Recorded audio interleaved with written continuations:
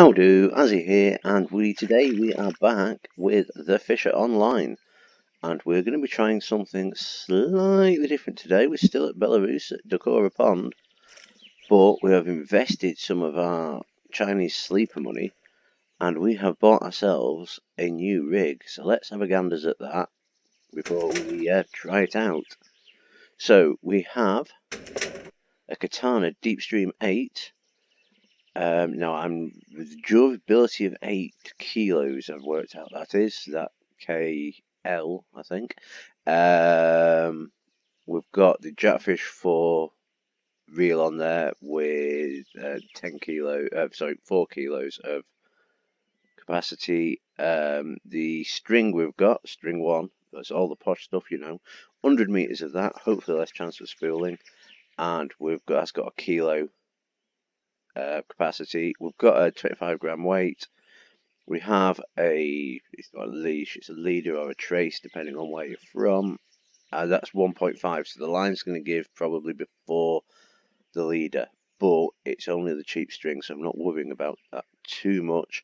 We're pushing it up, we're going with a size 2, a medium hook, and we're going to have a go with bloodworms because everything loves bloodworms. I'm going to see if we can get ourselves a slightly funkier fish. So, let's, uh, let's have a look at the map. Right, so we're sort of around this campy bit here, and we've got this big trough running right the way down the middle. On a really, really good day, A, we'll be able to get it into that trough, and B, we'll know that we have got it there. So let's have a go. I've had one cast with this so far, and it didn't go that well. So let's have a look. Hit two to bring it up. Right, now we're going to basically pop it out there and in the first instance hope. We also have contact with the surface. It sinks pretty quickly, go minus three meters, so we've got it into the trough. So now we're going to pop that down, if I can remember the popping down button. It's Y apparently, there you go, for your information. And we will be back when there's a little bit of interest in that. While we're waiting for our funky new setup to actually pay dividends, what I will do is I will go and see what the daily mission is. Actually, I don't need to go because we have mobile technology and see if we can cash in on that. So we go to quests. Uh, 10 silver bream. There we are, Chinese sleeper quest. That's there again. Um, and lots of things I've never caught much of. So I have no idea how many quests I can take what I might do. Actually, yeah, I'm looking at the times now, and there is no way I'm going to catch eight Chinese sleeper in ten minutes. So I might go for the for the weightage one, see if we can get our 58 monies. Do a take. Oh, take, thank you. Alright, then we can go back to that, and we can do a little bit of floaty fishing. Whilst our funky new setup uh, thinks about what it's doing. So I've still got the same setup on this. I'll just uh, very quickly show you that. So it's the Yang Extra rod, it's a starting rod, it's a starting reel, it's the starting everything apart from the bloodworms. Because you don't start with bloodworms, but why the hell not? We'll go with those. And after Chinese sleepers again, whilst we hopefully get some more funky fish on the feeder line. Here's hoping. I'm also hoping I can actually hear when the bells go off. As I'm probably a little bit foolish trying this for the first time uh, in a video, but there you go. I'll make the mistakes on your behalf so you don't have to. Think of it that way. If you like. So I could even pop this down and keep an eye on the other one. Let's see if that's possible theoretically. I mean, it's not a good idea because I can't see the float once I've uh, once we wandered over here. Well, we can see that it looks like nothing's interested in that. And uh, nothing's interested in that yet. We might invest in a second feeder, but I want to know that it works first. So I want to spend all the monies to find I've got a completely wrong setup. And a thing that really will not catch fish. Well, our first thing doesn't seem to be uh, This is doing anything, we'll bring that in.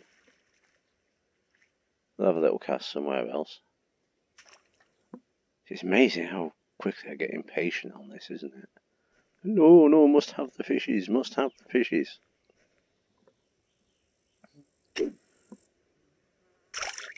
Of course, if I'm not recording, I can quite happily just sit on a fishing game for hours, not catching anything, and I don't really care. It really, there you go, there's one mocking me. He just wanted to be on YouTube. Oh, we have a bite, sort of. Well, it's an inquiry anyway. No, I've struck too early. There, if you do strike too early, it doesn't just bring it back in, which is uh, which is quite nice. But we've got something else. I didn't scare it off, whatever it was. There we go. We'll get it this time. It's a reasonable size, judging by the little bar coming up. What have we got? We have Droach. Excellent. I'm going to, while I'm thinking about it, bring that quest up just to remind myself that I have taken it. There we go. Little reminder to myself that yes, I am supposed to be hopefully getting Chinese sleepers as well as whatever doesn't appear to be biting on the feeder. Just going to hike this out of here. It's not the best place for catching fishes, I doubt. Or I doubt it's the best place for catching fishes, but it's made no difference because I can't see the other rod anyway. So I'm trying to keep an ear out for the bell. Oh. Was that bellage then? One of the perils of YouTube, of course, is you have to turn the volume right down on your uh, on on on your computer, otherwise it sounds really, really loud in the video. So if there's been jingly, jangly, jangling for the past five minutes, um, no, I've not noticed because I can't hear it.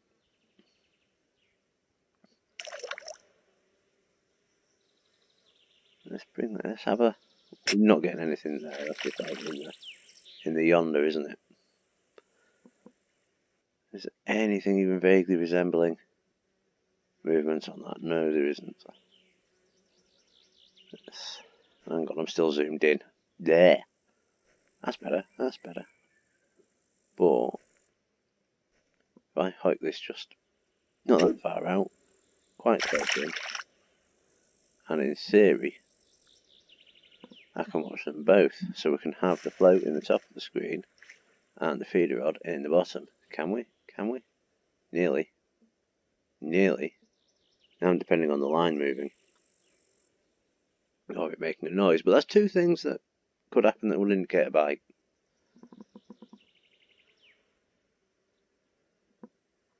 Any minute now. Go on, bite, damn it.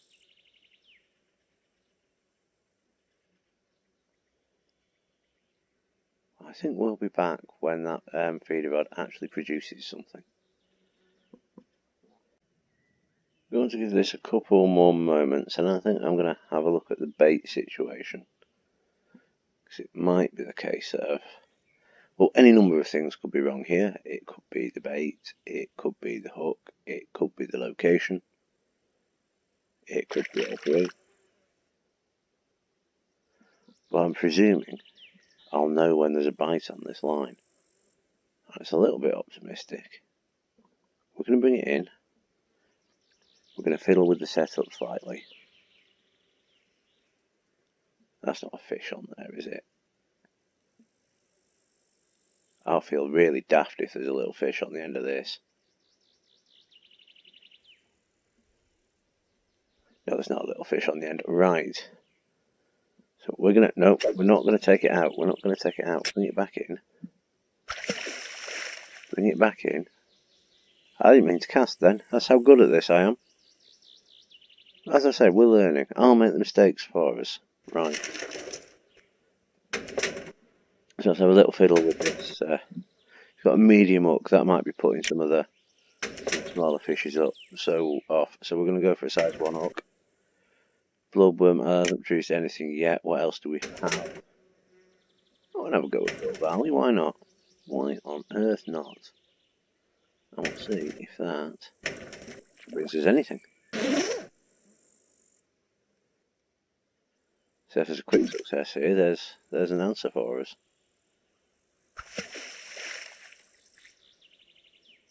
There we go. I think we've got it to the bottom.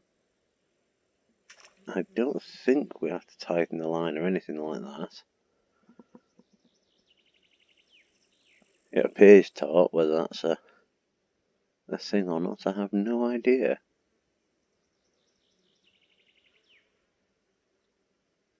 Yeah, it's a game of patience.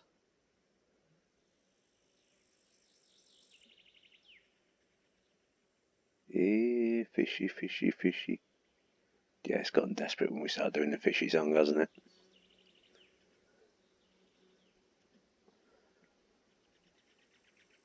In theory, in theory this should work. We've, we've gotten it to the bottom. Uh, there should be fish there. We'll give this a little bit.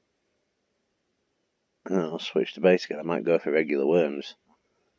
Everything likes a worm sort of thing.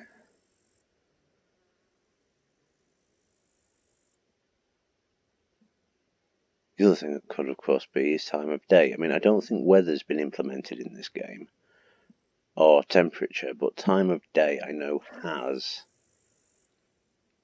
So uh, it could just be wrong place, wrong time. Oh, oh, there you go. That's pretty much what we're after, isn't it? Right, I've been patient. I've been I've been as patient as I can. I'm going for it. Oh, it's a bit big for that. it's a bit big. Can we get this thing in? We might have bitten off more than we can chew here. It's still coming in. It's still. Oh, it's fighting. It's fighting. I do quite like the line bar there. It's going up and down because you can. Oh, it's very difficult to render a uh, fish fight on these and, and the physical feeling of it. But that line coming back and forth, the idea of how much line's being stripped. Right, come on, come on. It's definitely going to be a big fish. If we can get it in. I think I've got it. Have I got it? Have I got it? Oh. Where are you, fish? Where are you? You're there. Come here. Come here, little fish. Let's be having you. Well, we're trying to show the feel the fish and pull the fish in at the same time.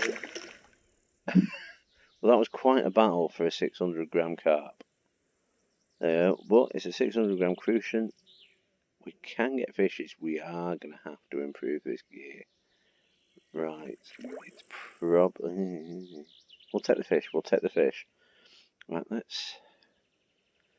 That wasn't a huge thing.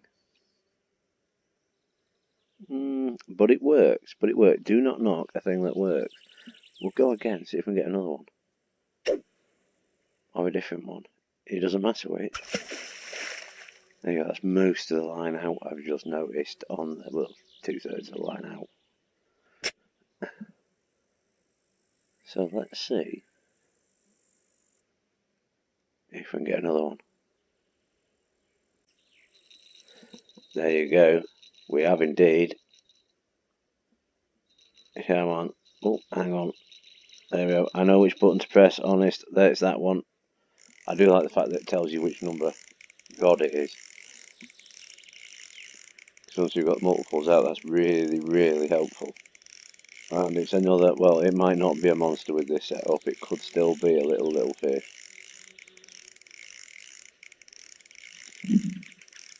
It could still be a tiny little fish, but it's coming in. It's coming in slowly. That's a lot of tension on the line. Come on, fish. Let go. Actually, it seems to be less fight than the last one, so maybe... Oh, that means it's not uh, another crucian? Well, I forgot it's another crucian. Oh, the star number here. That's just there. That's the XP you get. I finally worked out. I don't know why it took me so long to work that out, but it did. So anyway, the pearl barley seems to be good for the crucian carp here. Should we have a look? Before we cast again. I'm going to have a look how much these actually work at, at Fish Bay. E-Fish, whatever you want to call it. Fishers on. Oh, they're actually worth proper money. I'm not not going to complain about catching those then. Right. Um, yeah. We will, however, for the sake of experimentation, have a look at the bait, have a go with another bait. Once can remember which button to press, there we go. Right, have another look, have a look at another bait. See what we can get. So we'll add Pearl Barley, got Crucian Carp on that. Everyone likes a worm. Worms are cool. We'll go with worms. God number two, Zippy Outie. Right out there. Hikey Innie. Hopefully we've hit the again. There's contact with the surface. Hitting bottom around about 3 metres. Pop you down. And we shall wait.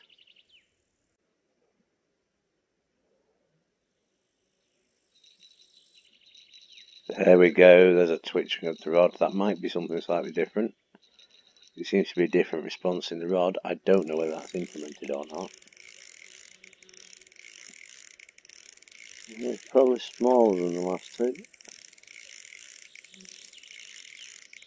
If I'm battling with less than kilo fishes, it's probably a hint that this year isn't going to last that long.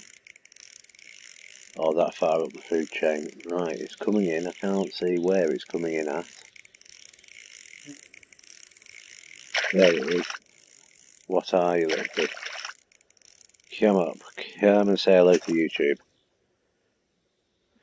That's a large Chinese sleeper. oh dear.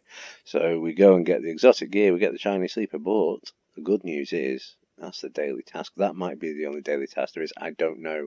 This is only the second time I've tried daily tasks. But well on the way to that, and that would not be a bad thing. I'm going to pop that out there. We're definitely hope for another something funky. Relief table is the bit I just saw on the on the thing there, just below the depth. Uh, so that's the thing I've got to look at. Oh, and again, there's an immediate an actually immediate take. And that feels bigger. That feels bigger. Although it's not got a huge amount of fight in it, so almost certainly not a carp. And it is coming in.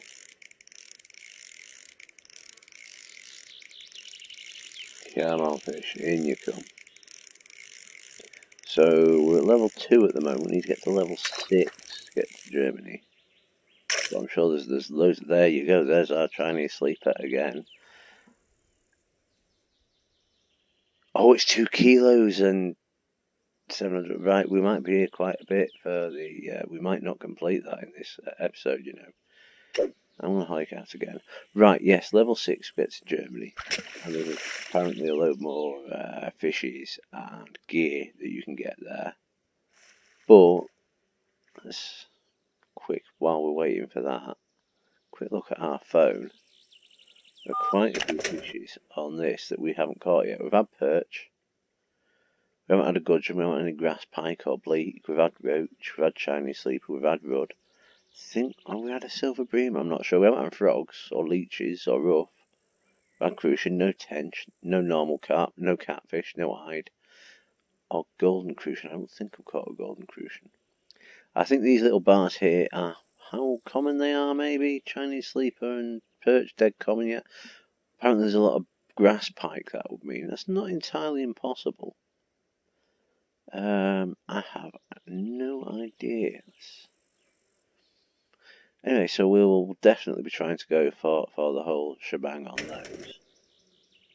And what I will probably do between episodes is scout out locations where we might be able to catch that sort of stuff.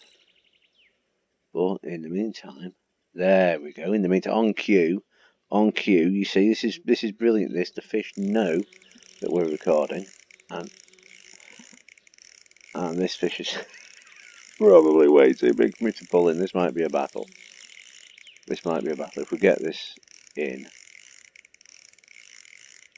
this might be this might spool me actually. Hang on, how do I turn the friction up? And can I do it without?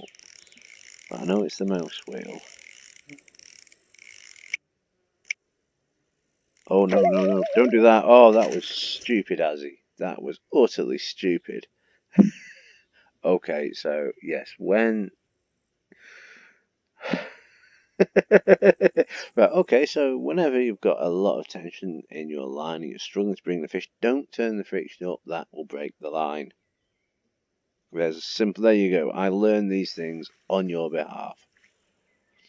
On that bombshell, on that note, um, let's see how broken that is, and then we'll call it. That's not that button, it's that button there. And how much have I actually broken? Oh, that's not too disastrous. We've just lost a bait and the hook. So the world didn't end there, but it did get away because I faffed about with it. But on that note, thank you very much for watching. We shall carry on with a bit more bottom feeding, a little more researched bottom feeding, I think, next time. Uh, feeder fishing, even. But if you've got any suggestions, comments, things that you'd like to see, things that I should be doing, do feel free to let us know in the comments. Thank you ever so much for watching. I've been Azzy. Ta for now.